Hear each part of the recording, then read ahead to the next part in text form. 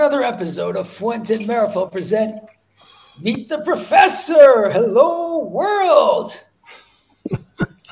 Hey, hey. Hey, hey, hey. Jose, Professor. How is everybody on this beautiful, beautiful Sunday? Absolutely amazing. You It's been look great week. The energy here is, is bubbling. It's crazy. Yeah, You and now worked she's so hard. Now, now and, and now she's in North Carolina. Yes. Oh my God. I love it here. It's so gorgeous. The weather is gorgeous. The people are amazing. And the amount of lounges is really impressive. Absolutely. Another beautiful, beautiful part of the world. Jose, how are you? Well, I got up this morning at 3:30 in the morning, went to the airport in Berlin. First flight to uh, Vienna, then in Vienna two and a half hours. Got home about 12. A little bit tired, but had a hell of a week. I mean, that dinner last night with our good friend Manuela, that you know very well, and her sons, 40 people, elegant restaurant. We we smoked the rainforest. Then I talked a little bit, and then we did the uh, Don Carlos Double Robusto. And then to make the night even better, the Opus Forbidden X13. It was just amazing. All the events all over Germany, people happy. You know the deal. They want more cigars, but I mean, Don't what they can all? we do? That's Carlito. That's, hey, the most sought after doesn't come that easy, right? You know, there's a reason for it. I know, I know, I know, I know, I know. But it was good, very good, very happy, very happy, and uh, everything doing well. Beautiful. Look at that. Your energy is bubbling. You're traveling. You're like the Terminator. You just never go down, do you? Yeah, you know, in a You, you don't look days, like the Terminator, but you definitely act like it. definitely. And you know, the the thing is that in uh, what's today's date? The, I don't I don't even know today's date anymore. The 23rd of October. There you go. okay, so in a couple of more days, yours truly is going to be seventy three. Oh yeah. years old. The birthday's coming up. 73. And he acts like a 13 year old. How is that possible? Eighteen year old, eighteen. Because he knows how to do social media. Probably. Probably. All right. Without further ado, ladies and gentlemen, we have a very, very special guest of honor today. Somebody that every single one of you knows, but not, you don't see him every day, but you see him a lot. He's a famous guy in the world of cigars, and we have him on our show. Very, very proud to present to you the one and only Aaron Loomis. Aaron, welcome to the show. Thank you for having me. That was short and sweet. Listen, It's an honor to be on the show. It's we're very very happy to have you here, and uh, this is going to be kind of like flipping you on the other side of the table, That's right. right? Right. Normally it's you asking the questions Yes. to people like us, and now we're going to be asking the questions to you. Yep. well, you seem very relaxed and calm. Yes. I can't wait till Jose pops in here There and you go. starts giving you a hell of a time. All he does that every time he sees me. He does it every time, but don't worry, we're there, we're behind you. And remember, if anything goes wrong, you just wave your finger, and uh, Uncle Jeremiah will come and help you. Will do. Thank you. All right, let's do this. Jose, be kind to the young man. No, we've been friends for many years. First of all, Aaron, That's I want what, to. that's what I'm worried about. Yeah. yeah, I know. First of all, Aaron, uh, uh, on behalf of all of us here on Meet the Professor, we want to thank you for accepting our invitation. Like I told you, I don't know why it skipped my mind.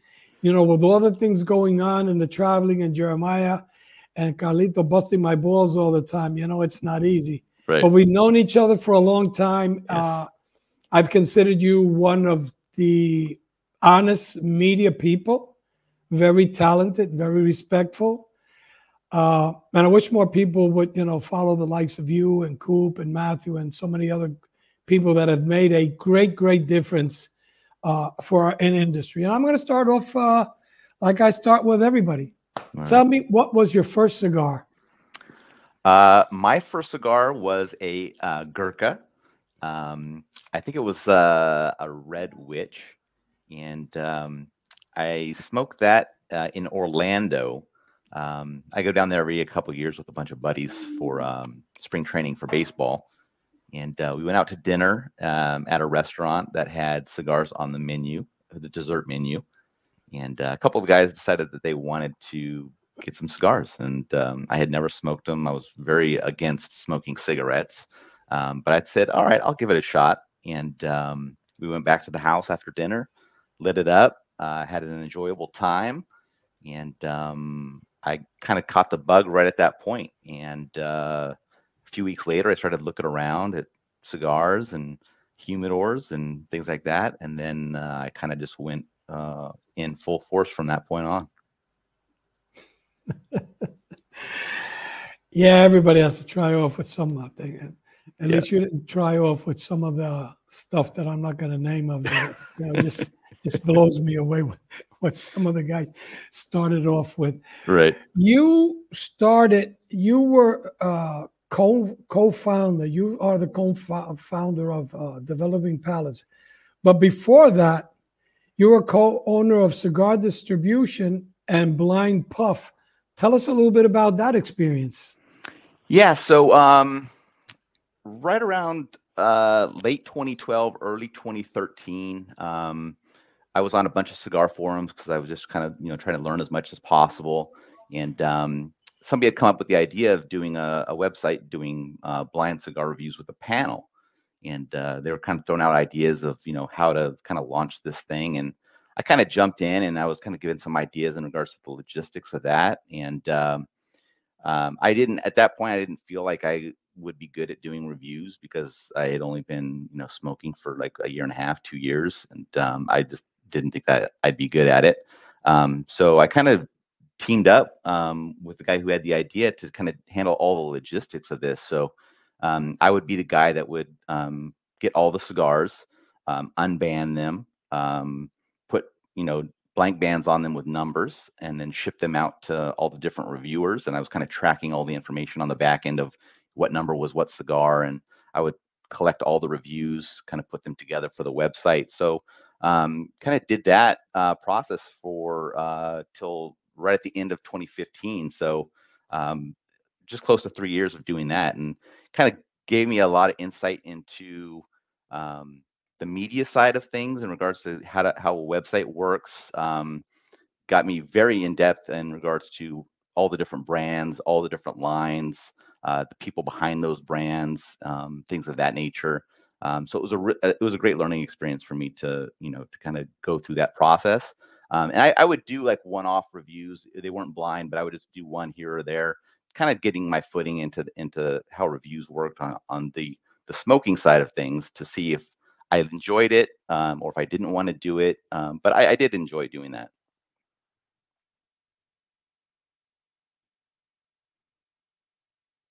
I think you're muted, Jose. I kind of enjoy Jose muted. It's, uh, it has it has a bit of a romantic touch to it. Yeah. And uh, let's let's see what uh, Melanie has to say because Melanie, is this is enjoy? Do you enjoy this as much as I do? We, watching Jose kind of go, but there's no sound coming out. It's inevitable. It happens every show. It's Yeah. like we need a buzzard. You know what? There there needs to be like a, a whammy. You know, every time it happens, it's like whammy. Yeah, Unmute. yeah. And then I get a call from his wife, from Emma, and, and she says, "Can you make this happen in real life?" And I'm, Yeah. like, "I'm sorry, I'm so sorry. It's it's just not possible. I don't have the technical ability to do that. but anyways, let's let's get Jose back on because he's he's he's going to turn 73 and that's going to get worse. So yeah, let's let's get him back on.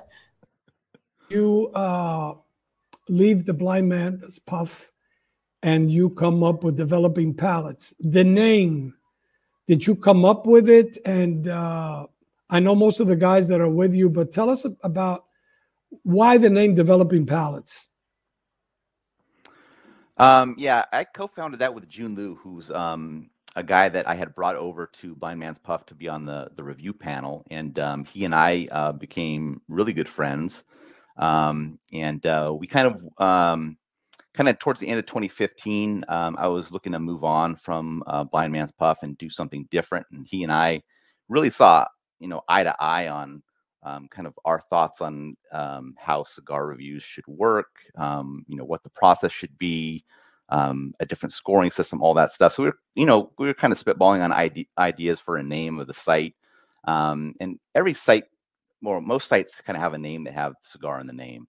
And, you know, I, I understand that is good for SEO and social media and all that stuff. But I think we wanted to do something that was uh, a bit broader, didn't kind of lock us into to just cigars. So um, we came up with this name just because we felt like we could pretty much review anything that had flavor to it. Um, so we could do spirits, we could do beer, we could do whatever it is that we wanted to, you know, spend our time on doing reviews. Um, and that that name really kind of lent itself to you know being broad enough to to do that. So that's kind of how we came up with the name of the site. And by the way, I got to say that you have on your uh, on your team, one of my favorites, and uh, also of our show, we've had it, the surgeon. Yes. And of course, Jiunn, which I know very, very well, and my good friend Seth Geis, that yeah. in my opinion probably has one of the best palates. Uh, yeah. In yeah, the industry. we started, it was Jiunn and I, and um, you know, we were doing uh, kind of our side by side reviews where we'd have our discussions. Um, so we would smoke the cigars separately and then we would do a video recap um, after we had both smoked the cigar so that we could kind of have a kind of a face-off discussion so maybe one of us liked it one of us didn't like it we can kind of have that discussion or we can if we both liked it or both didn't like it we'd have that discussion kind of get a feel for what was that was like so um, it, it, gave the ability to you know have a written review that people could read um, but also have a video and then we kind of take out the audio and put that on a podcast as well. So however people wanted to consume that that media they could um, and then as time went on, um, we were always very interested in being able to put a put a panel together um, because it felt like the more people that could contribute um, on a particular review, um, kind of cast a wider net to be able to match up with other people's palates that you know they might not match with me or they might not match with Jiunn. And um, the struggle with that is that we're we have a very set idea on kind of how we think the review should be done, and we we, we wanted people that we felt were very honest and straightforward in regards to that, and they wouldn't just say every cigar was good. So we we wanted people that were you know very honest with themselves and could be honest with other people, and um, you know Seth and John are those guys, and um, you know we didn't want to just bring anybody in, and those those John was a guy that we were hunting for a long time. Um, Seth was uh, also one of those guys, um, but he had his own site, and uh, you know, then he moved over to Cigar Federation, and both John and Seth were there. Um, and um, I kept always pinging those guys, just saying, if if you ever want to make a move, um, we have a home for you over at Developing Palates. And um, eventually, I think Jiunn and I wore them both down, and they decided that they would come over. And I, I, think we've put together, you know, a dream team. I'm not saying myself, but uh, the other guys are are amazing guys, and I I couldn't imagine work with with guys that you know I trust and that I trust their palates to do reviews. Well, I got to tell you something. Seth and I, I haven't talked to him in a in a long time. I know he's he's been busy. I've been busy, but I've talked. Remember when I would get together and talk with him? Seth is he's one of the few people when I did my blending seminars with the five wrappers that right. guessed him. There's only three people in the states that really uh, got him. Yeah. And Seth was one of them. Let me ask you this. Tell me the hardest the, the hardest person or the guy that's giving you the hardest time to do an interview and at the same time the easiest guy to do an interview with. Oh man. Um, I'll, let me start off with the easy the easy people. I think that's easier to come up with. And I actually just saw this today on my Facebook timeline. Is that um, I think it's two years ago to the day today is that Jeremiah came on the show with Coop and I.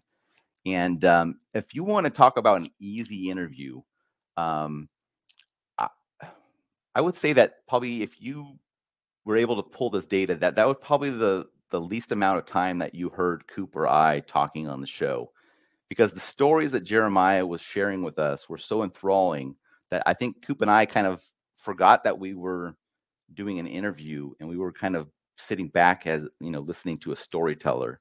Um, so that was one of the that was one of the best and easiest going um, kind of shows that we've done.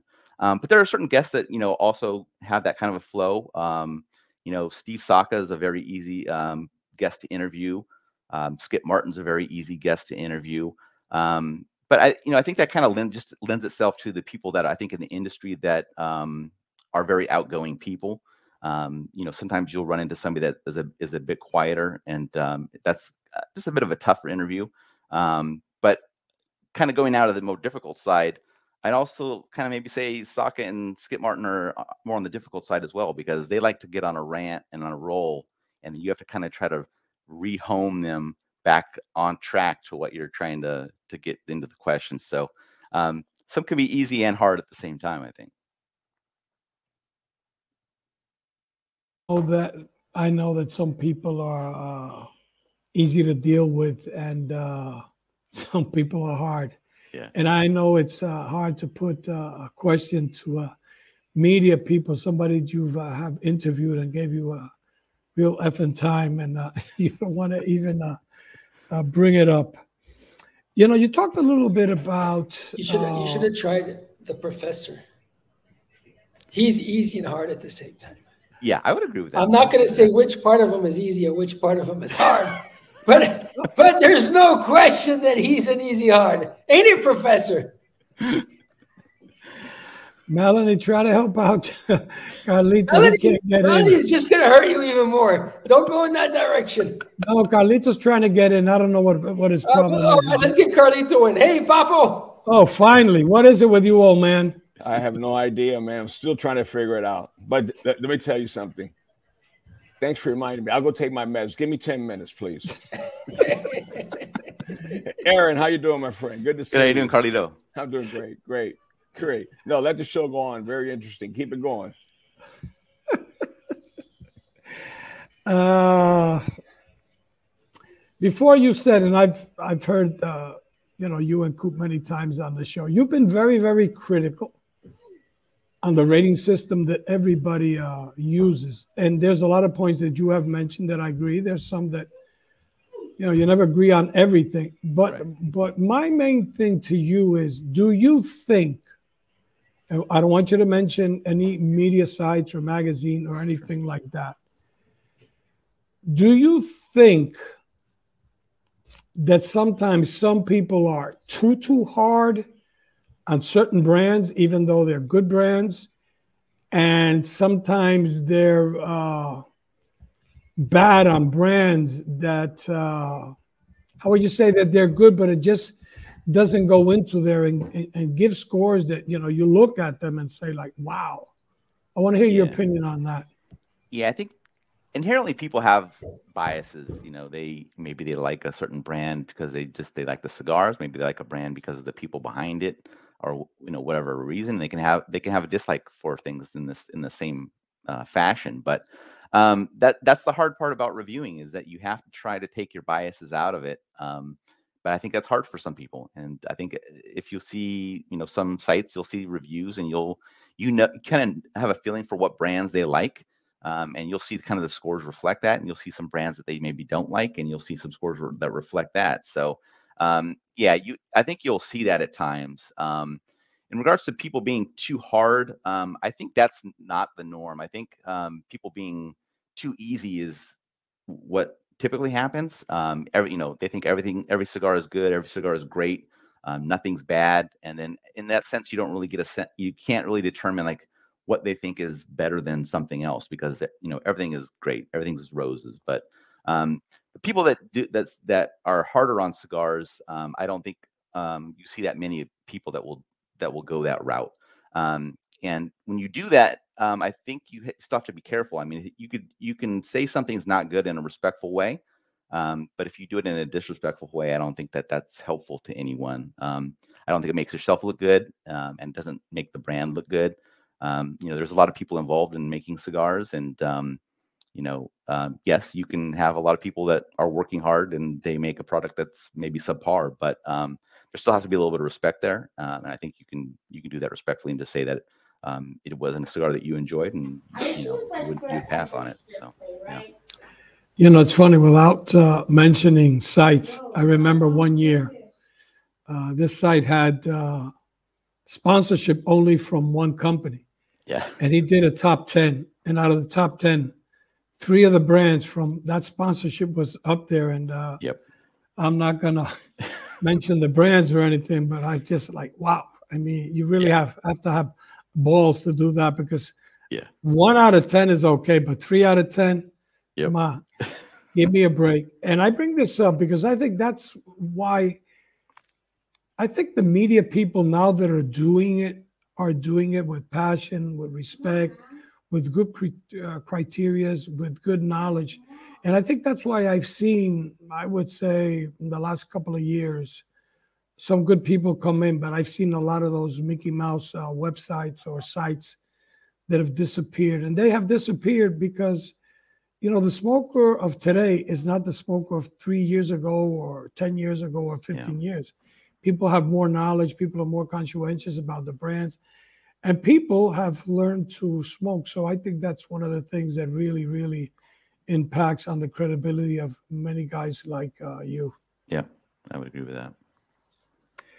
Uh, you and coop have been working for many years together. And i've never asked this question to anybody but because you and coop are so uh, good, and I know he's going to laugh when he sees uh, when he sees this. Uh, what what's the hardest thing that you have to deal with when you and Cooper doing a show? Uh, that's a tough question because he is uh, he's really great and easy to work with. Um, uh, man, um, I, I would say maybe if I had one gripe, and this is really having to reach for something, is that sometimes on the show, um, a guest might go down a rabbit hole, and uh, you know we need to kind of stay on track and things like that. And he kind of lets them go a little bit more, um, and I'll kind of give him some rope, and then I'll you know if we get to a point where I think it's just we're going completely off the rails and we need to get things back on track, I might kind of pop in there just to kind of get back on because um, he he's okay, I think, running with a very long show. Um, you know, he the show that he does with Bear, um, that you know they can reach three to four hours on a regular basis, and um, you know I, that's fine if you you know the audience wants to stay for that. But I think I, uh, you know we try to keep it uh, at the at the two hour mark. So I think maybe just trying to keep things timely um, would only be, would be my biggest gripe. I know. I, I'm, I'm not gonna. He knows I don't see uh, all his shows, but I see some of them, and and I'm amazed. Like he gives them a lot of rope, and uh, yeah. And we and I talk, and he says, "Wow, you know what, what, what could you really do?" Let me ask you this: You've been going to the PCA for many, many years. You guys do an amazing job. You Sorry, report. I, was a, I have a question for you. Uh-huh. Are you wearing a stethoscope? Listen, uh, if you don't have anything better to do, let me do my job. Carlito. Something's wrong. It's sticking out of his ears like hey, a stethoscope. I, I didn't have the balls to ask you, so I sent uh, Jeremiah a message. He had to ask you, man. do, do, you hear us, or is that is one of Jasper's toys? Or do you actually? No, no, no. I hear you. You know what I'm. You know what I'm going to play doctor. It's you know what I'm. Look, the heart's beating. You, you know what, Carlito? It's a good point because uh, I'm I'm gonna go tomorrow, and uh, since I got a corporate card, and you said that I, you know, I don't spend a lot, but I will spend something very good on this, so to look better. And I hope when they ask me in Tampa, uh, who authorized that, I'm gonna say the owner of the company. So I'm going tomorrow to get it. I feel comfortable with these, And the other ones, sometimes they don't fucking work. So leave me alone. T- did you take your medicine? not not till after the show. Sorry, Jose. It was just it was just too much. You know? Yeah, yeah, yeah, yeah, yeah, yeah, yeah, yeah. To, to both of you. Aaron, you've been going to the show for many years, and like I said, you guys covered very, very well. Tell me things that you would like to see the PCA to do, and things, thoughts that you've had, because we all talk to make the PCA better. Even though I have to say, we had a great show last Yes. year. Probably the show. best show in the last five years, without a doubt. Quality and not quantity. Jose, w- when you ask a question, you have to let the guest answer the question. just, just ask the question. Let Aaron answer the question, will you? Yeah, but I gotta ask sometimes two questions. What's wrong with you? Carlito, give him his medicine too. Um, yeah, I think the last show that we just had was a fantastic show. Um, bet probably the best show we had in the last four or five years. I think. Um, I, I would like the I would like to see the show um, develop more um, on the day before the actual trade show uh, piece of it. Uh, I mean, this past um, show, um, I didn't get a chance to attend, but I heard that the show that um, you and Carlito did, uh, the session where you guys did uh, the kind of the blending and talking about the the cigar you had handed out and all that. I think that was a fantastic concept, and I heard you know rave reviews from uh, people that attended and saw that it was a nice line light out uh, for people waiting to get in. And I just think a lot more educational stuff um, kind of on that first day would be would be a big help. Um, I know they try to do seminars, you know, around um, you know helping retailers with their stores and things like that. I just I just don't feel that they're um, maybe engaging enough or they're not um, kind of talking about the right things. I mean, having somebody that um, you know works re- retailing for uh, you know pet food stores, I don't know that that brings a lot of information to the retailers that sell cigars. Like uh, I don't think that they they match up. I mean, very different clientele, very different customer base, and how the sales happen and things like that. It's just I don't think they match up. But um, I think if they did a little more, you know, targeted education um, would be fantastic.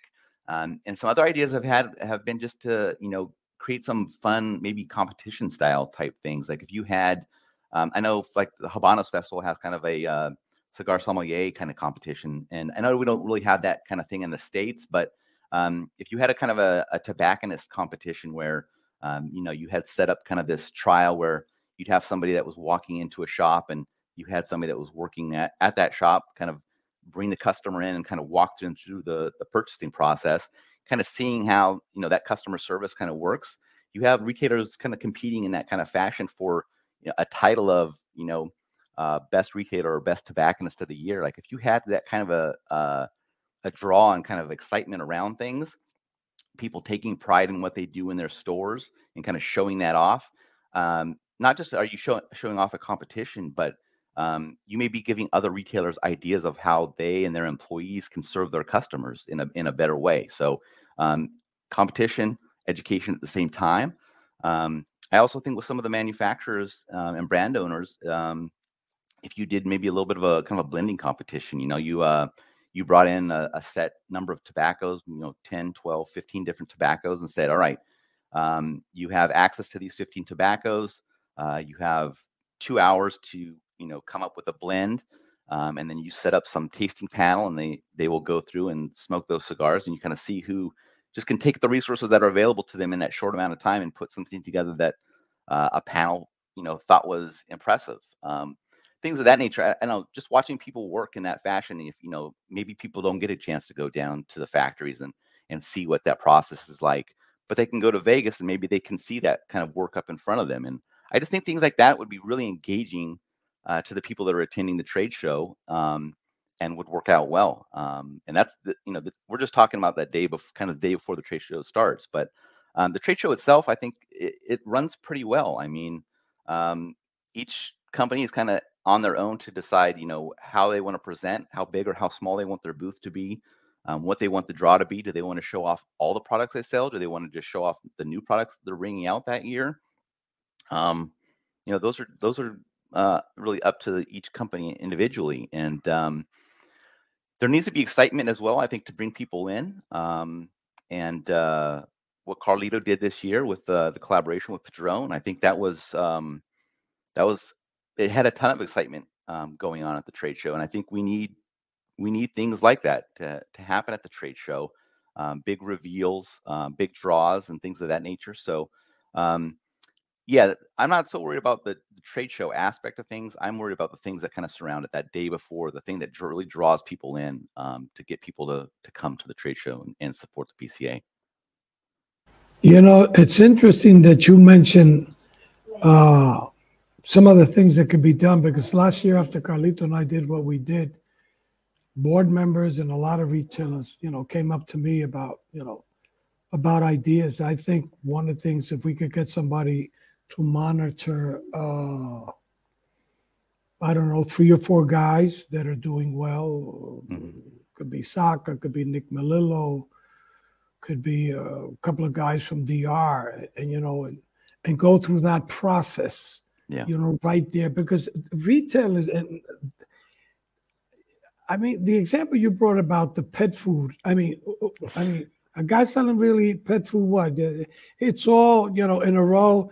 If yeah. it's six months, if it's a year, if it's an adult, if it's canned food. That cigars is it, it is totally different. So I yeah. think yes, we have to bring uh, exciting things. And uh, I've talked with uh, Scott Pearce, and I've been talking to uh, Greg Zimmerman, and you know anything that we could us, uh, myself, Jeremiah, Carlito, our team, can contribute, uh, even if we're not part of it, but to give ideas. And I think it's very, very important the day before the show to have something that people just really want that makes them go to the show. That if you don't go to the show, you're not going to be able to uh, enjoy that. Let me ask you this because you go to a lot of shops. Tell me three things that you really dislike when you walk into a shop? First thing is if nobody acknowledges that you walked in. Um, I mean, that's I think that just is the, unless you're a regular and they know you and you just kind of go in and do your thing. But if you're new to it, you know, you know, new to walking into a shop, if there's just no acknowledgement or you don't see anybody and you don't know what's going on, that's kind of a, a the first turn off to me. Um, the second thing would be um, just not good upkeep. Um, you know, if you have uh, you know ashtrays full and ash all over the floor and things like that, it just looks like it's everything's dusty and it hasn't been cleaned in who knows how long. Um, that's also uh, a bit of a turnoff um, to me. Um, and then uh, I think probably how the humidor is kept. Um, you know, you want to. I think you want to walk into a humidor, um, see everything kind of nicely in its place. Um, humidification is properly done. You're not seeing mold on cigars and things of that nature. I think you just want to be able to walk into somewhere that um, looks nice. It doesn't have to be a absolute showroom because um, I understand kind of a lounge mentality of you know wanting to be comfortable and things like that. So, but just being you know good upkeep, making sure you know things are the way they're supposed to be. Um, things aren't left to just degrade on their own and things of that nature. I think those would be the things that just kind of drive me crazy going into a, a retailer. Have you ever walked into uh, to one of those shops, old shops that has uh, an old rug, has so much dust on it you can grow corn on it? yeah. I'm gonna plant some tobacco right here, guys. yeah, it's uh, it's kind of. I've been to a lot of those yeah. without mentioning names because in our, our show, because we respect every company uh, without naming names of companies, have you in the last year seen a decline on the quality of cigars? Bad draws, tobaccos with a lot of ammonia, bad burning, tunneling, things like that?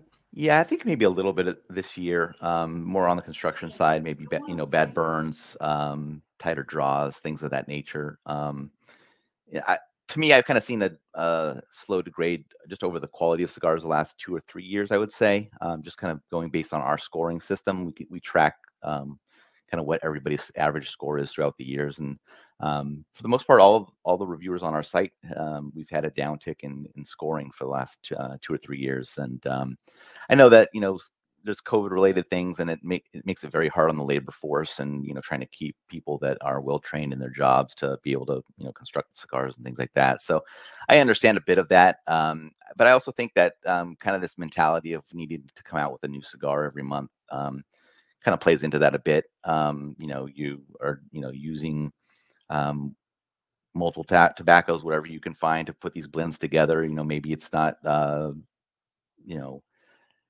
the pre-production hasn't hasn't been done to the fullest. If you want to get something out or things like that, um, maybe the team is not uh, spending enough time, you know, working on this particular blend, and they're on to the, ne- the next thing, and it's just constantly new, and they can't get settled in. I, I don't know how you know how all that works, but I think this the frequency of things also kind of maybe plays a, a part in some of these brands. Um, you know a little bit of decline for them. So um, you know, I, I, I wish companies would spend you know more time focused on putting out a, a stellar blend, stellar cigar, um, and kind of focus on that for a little while, and not get tr- caught in that consumer trap of everybody always asking you what's new, and you feel that you always have to come out with something new to kind of keep their attention. Um, I'm I may be well, not a minority, but in a minority in regards to the social media smokers, in regards to them always wanting new. I would prefer having, you know, readily available, you know, very good cigars um, from a brand that I can go back to and count on and not get a new release and then, uh, you know, say, oh, I really like this one. And I go back, try to go back to it six months later and they've already moved on to something else. And, you know, they may have already stopped production on that previous one. Just, it didn't, it didn't work well for them or they just want to focus on something new. So um, that, that's kind of a, a tough spot and it, it may play into some of that decline. Aaron, what is something that you've seen that's been done so social media wise that uh, shock you in a very positive way and something negative again without mentioning people or companies sure um i think at least from the kind of from the whole covid pandemic um a lot of the um brands and and retailers and things that started taking to social media for doing shows like this one like start, kind of started in that time frame but it's continued on and it's it's done well as well. Um, i think kind of seeing those different perspectives from people and getting to know more about um, the people behind these brands and um, kind of their mentality and in you know how um, how their outreach to the consumers have been um, has been pretty enlightening. Um, you know you get to see um, who who can do well in that environment um, and who can use you know continually kind of uh, change with the environment and see you know what works for them what doesn't work for them and how and just how they kind of continue that process of um, growing their brand growing their outreach and things like that. That's uh, that's all really really impressive to me um, but on the other side of that, um, kind of the same thing is like you've seen some people that have tried that and they just kind of failed at it. And there's no there's no harm in you know trying something and it not working out and you kind of moving on. Um, but um, yeah, that you know the the new shows that came out that was good. Um, but I think on the bad side is that um, when there's you know news pops up, maybe there's a, a disagreement in the industries, things like that, and uh, people are in a scramble to get people onto the show to kind of talk about it and things like that. Maybe there might be some informa- misinformation going on and things of that nature. Um, I just don't think it's a good look for the industry, and not that there's a bunch of eyes on us necessarily from outside of it, but um, I just think it kind of stirs up um, a bit too much drama. I mean, the media is always um, up for some drama, but um, it just kind of gets um, to be kind of he said, she said in a lot of cases, and it's it's sometimes it's better to actually you know take on a media role and kind of do some investigative stuff on the background to find out what you know, is really going on kind of for you just move out and give somebody a microphone to kind of share their one-sided piece of things aaron you look way too comfortable sitting in that chair yeah it's and, uh, fantastic uh, I can tell, and we're going to have to stir things up for you a little bit. So, are you ready for the hot spot? Let's do it. Let's do it.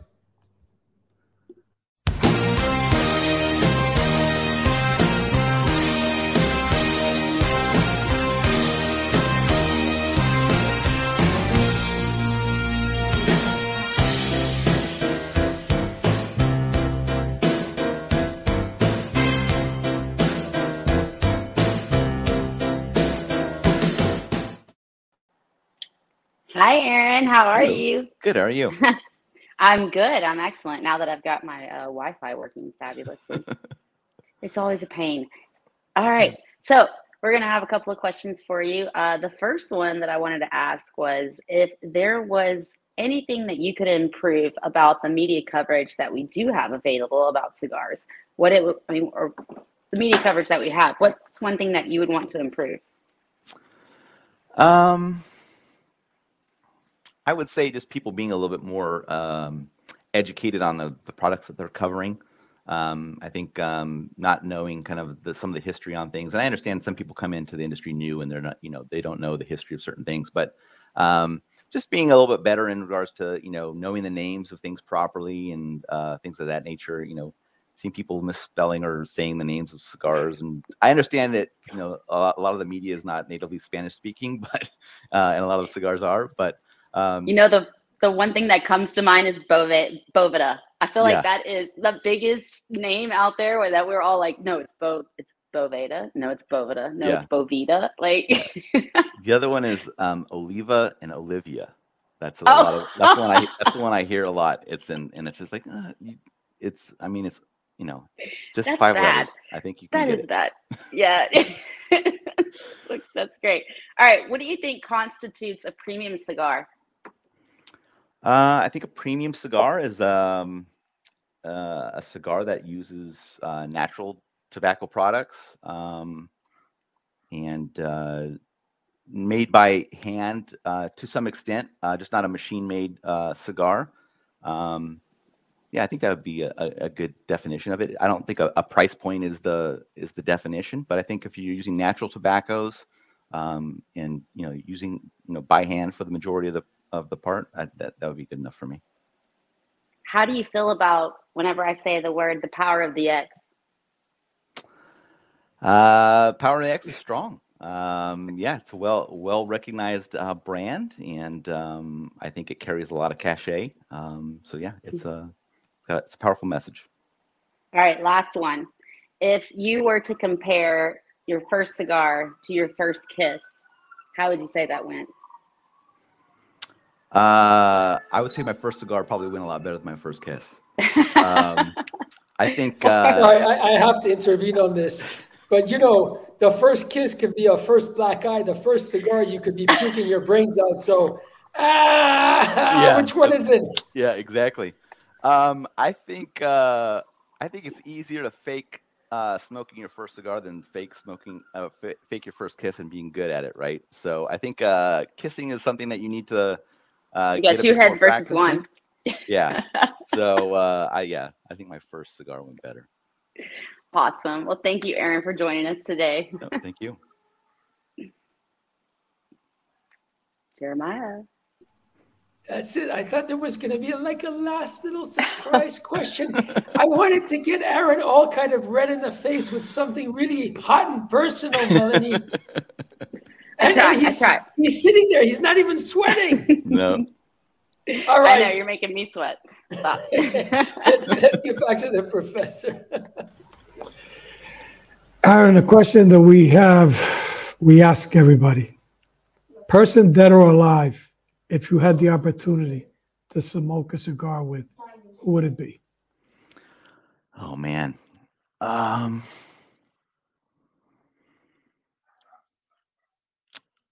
I would say probably uh Abraham Lincoln. Um I just think he'd be a guy that would be uh very interesting to talk to. Uh very went through a very pivotal um time in uh this country. Um and uh I just think he'd be able to share share a story in, in a great fashion and uh he, you know, I, you know, he did smoke, so I, I'm, I'm sure that that would be a good time. What, tell me two things that are, are on your bucket list. Two things on my bucket list. Um, one is to travel to Italy. Um, I have never been yet, and uh, it is a destination I would like to go to. Um, ah, the last one, I oh, that's a tough one. Um, the other thing would be to uh, find the perfect cigar that would score a 10 on the developing palate scoring scale. How about that?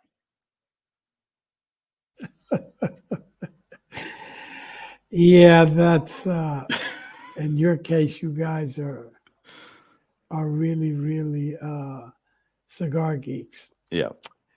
If you were, uh, let me let me see how I'm going to put it. If you were to choose uh, a person that's not with us to, uh, today Mhm. in the cigar industry to have a conversation with, who would it be? Hmm. That's an interesting one. There's lots of great people to talk to in our in our industry. Um,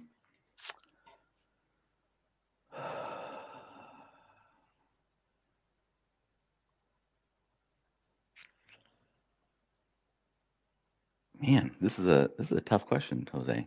And you know the funny thing, it's the first time I asked this question. Okay, yeah. Um, uh, let's go with uh, George Padron.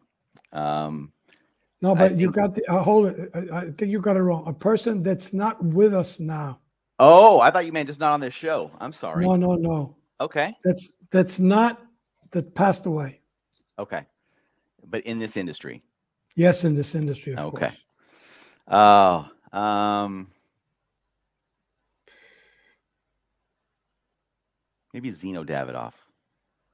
I think that uh, that would be a very interesting conversation over that kind of a long tenure and um, how he brought things kind of to fruition with uh, the company and uh, you know the different technologies and things of that nature. I think that would be a, an interesting conversation.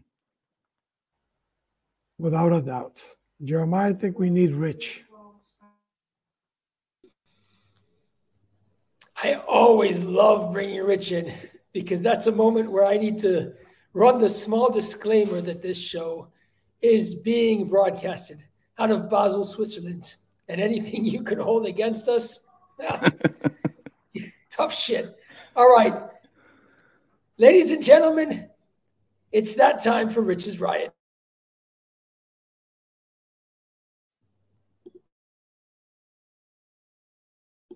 Ladies and gentlemen, it's time for Rich's Riot.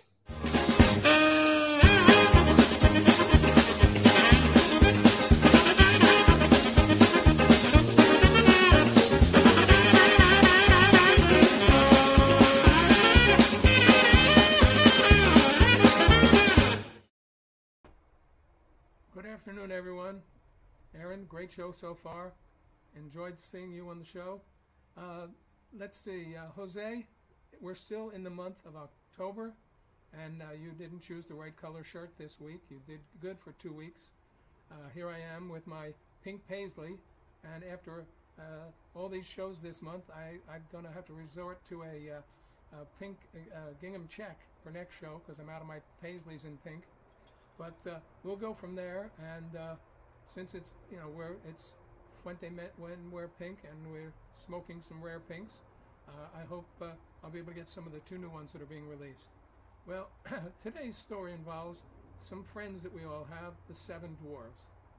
Well, they all went to the Vatican and got a papal visit, and Doc went up to His Holiness and said, Your Holiness, are there any dwarf nuns in the Vatican? And His Holiness goes, No, there, there, there's no nuns that are dwarves here. He's okay. Uh, uh, how about uh, in uh, in Europe? Are there any, you know, nuns that are dwarves in, in Europe? His Holiness stops. He, no, I don't think so. He says, uh, How about are there any dwarf nuns anywhere in the world? And His Holiness goes, No, I'm sure there's no dwarves that are nuns across the world. Well, all the dwarves except Dopey started laughing like crazy, and they started yelling, Dopey fucked a penguin! Dopey fucked a penguin! So, uh,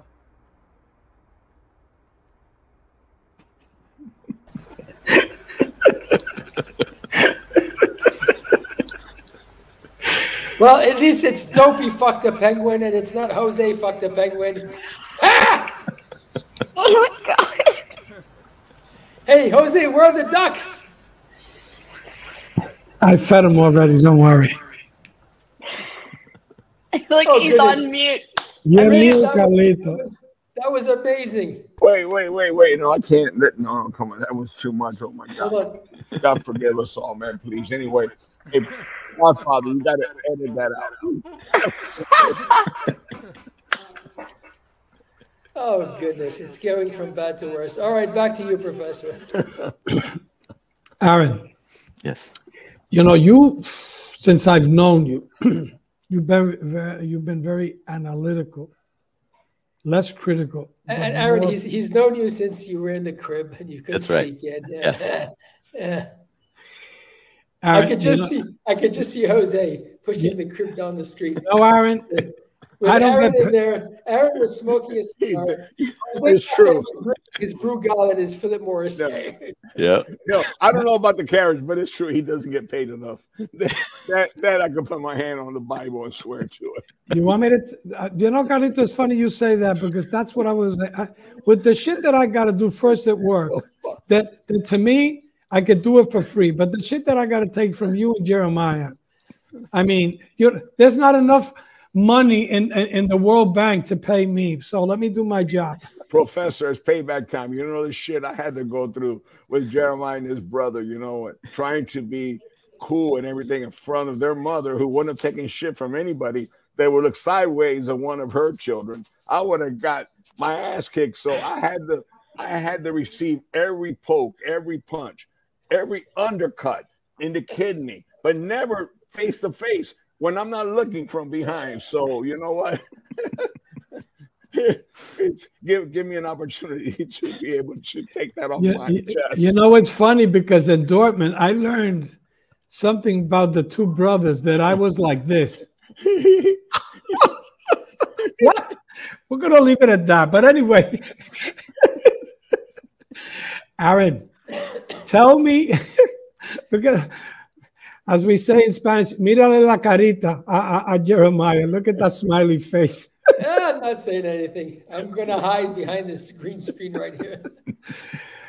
Aaron, tell me. Like I was saying in the beginning, you've been you you observe. You're very analytic about things. Tell me what you think. You don't have to give him any compliments. He's not gonna give you anything. What you can be sure, I'm not going to give you and Carlito any compliments. He's not gonna give you anything. He's too far away. There's nothing to mooch off of. He's where are you right now, Aaron? California. He's in California, Jose. You're in Macedonia. It's not gonna work. It's only 13 hours away. I can take a plane. Aaron, tell me what you consider at this moment right now the three biggest threats that our industry has. Numbnuts one, Meerapfel, and Jose.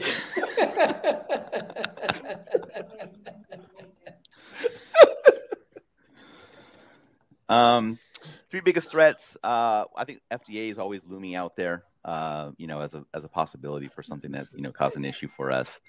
Um, I, I also think maybe you know some of these issues, um, like in Nicaragua and things like that, that you know, you know, you hear embargo talk about, you know, you know, embargo against Nicaragua and things like that. I think those things can have some major uh, issues as well. I mean, if you saw an embargo against Nicaragua, uh, that's a that's a big deal. Um, you know, it's kind of a similar. I almost think it's similar fashion as FDA coming down. It, it, you know may shut down those industries in, in particular countries, and that's that's a big deal as well.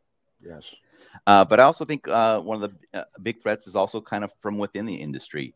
Um, you know, I think um, some of this um, marketing that people are doing. I know people want to have fun and all that nature, but uh, there's a microscope on us. Uh, you know, from the FDA and things like that, and uh, when you start putting um, cartoon characters on things or you start putting fast food uh, characters on things or you make things look like things that kids would want to go after um, that can be dangerous at times you know all it takes is somebody you know some kid picking up the wrong thing and uh, you know it getting eyes on it um, and that can bring I, I agree. I agree. form- Look at Jose with that thing sticking out of his ear.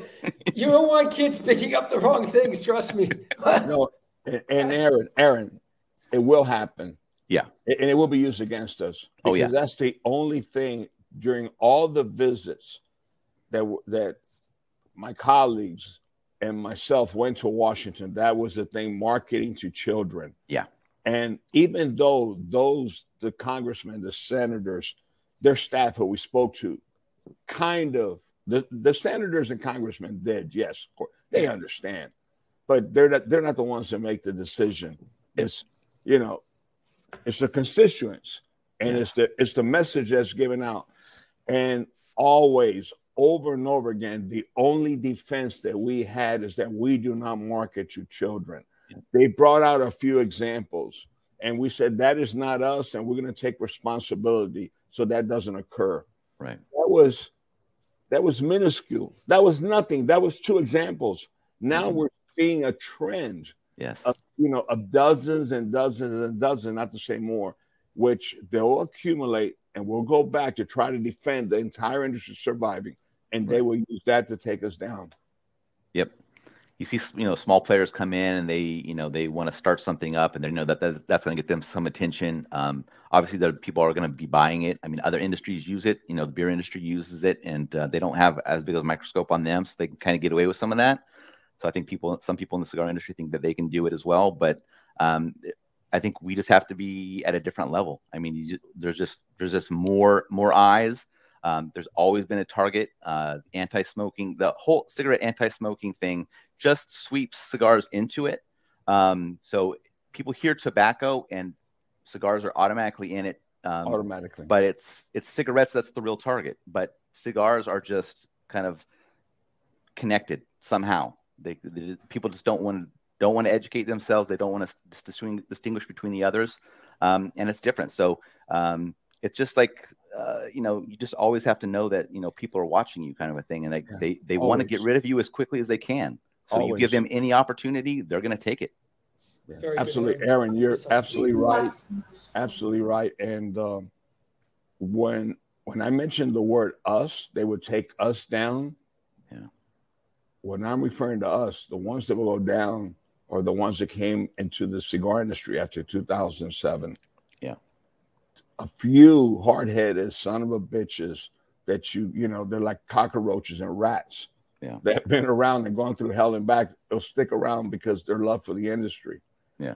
But I don't want to be in the most, the largest, which is a mentality of a lot of international, multinational companies. Yeah. I don't want to have the best penthouse in a building, which supposedly is going to have 20,000 residents, and I'm the only one. Who yeah. pays for the lights? Who pays for the valet? What? Who's who's going to pay for the bartender or the entertainment or keep the air filters air filter, filters clean in yeah. that property? And that's the way I see it. We have to protect everyone in the industry. Yeah. But those that are in the industry have to be responsible and understand this is not a game and livelihoods, hundreds of thousands, as you mentioned, in all parts of the world are at risk. And I think that it doesn't take much of a cigar brings you a little bit of pleasure mm-hmm. or something respect. It's a word that is very simple, but it really covers and embraces so much what is necessary today. Aaron, very true. Uh, uh, your response and Carlitos. My last question to you: How do you see the future of the industry in numbers? 2022, will we imports will be below the 456? Will we go down more or less around to 400, 410, 420? Your thoughts on that? Yeah, this is a tough one. Um, you know, we had that kind of a, a big increase during the pandemic. Um, lots of new smokers, I think, came in. Lots of people that got had the opportunity to smoke more, maybe working from home and things of that nature. Um, but at least in the United States, and I, you know, I guess across the world as well, you know, starting to see inflation and things of that nature. Um, so it's a it's a tough call to see uh, how this is going to shake out. Um, you know, you kind of want to think that um, certain industries are kind of a bit recession proof. Um, and I think maybe cigars might be one of those because people always want to have that kind of that pleasure, um, you know, even when times are tough. It may just change the, which cigars people are buying and things of that nature. But, um, Yeah, I think that I think that there will probably be a slow decline, but I don't think it's going to be anything major um, right now. But as trends change with the economy, um, if we continue to see uh, uh, inflation happening and uh, kind of a recession happen and things like that, we, we might see a, a, a bit of a dip. Um, but um, I'm hoping that there, there's not that large of an effect. Aaron, on my behalf, I want to thank you for being on the show. I mean, I've known you for many years. You do a great job. And your team too, the surgeon, Jiunn, of course, Seth. Uh, I wish you uh, to keep continue doing the great job that you do. Very honest, uh, with a lot of respect for the industry, and you have always tried to help the uh, ind- industry as much as possible. So, on behalf of myself, uh, and I know the others also. Thank you very much. Carlito? Aaron, first of all, thank you very much. It, it means a lot. And as always, I learn. And listening to you, there are several points that you touched on that I think are really very important for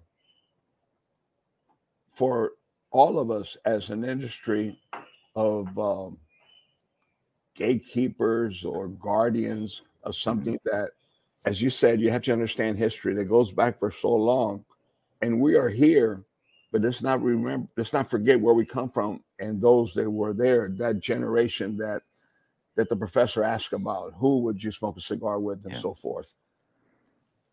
Two things and i know that the show has been amazing. You have been such a great contribution. You represent the media but you also represent a true brother and lover of the leaf. Thank you. two things and I don't want to prolong it, and- eh, but I, I just feel I have to, man. What the fuck, you know? Anyway, one was you mentioned along in the, during the show as an observant, and also first. I always see you first as a lover of the cigar, the leaf, and the respect of the history, and the knowledge that you have acquired over many, many years of hard work. First, you mentioned that it's disappointing that all of a sudden there's a new flavor of the week. Honestly, in cigar making, like in creating music, I don't care if your name is Paul McCartney or John Lennon, you're not going to write a song every single day Mhm. because a billboard or some editor says you need a new song for someone to listen to my program. So, in some respect, the media is responsible. Sure. Talk about ratings.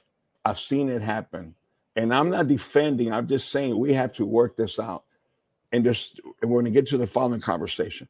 I have seen, I remember in the very, very beginning when I never left my neighborhood or the factory going to events. And someone I sat in a table, very powerful person, says, Carlito, listen, this is your future. The ink is what sells.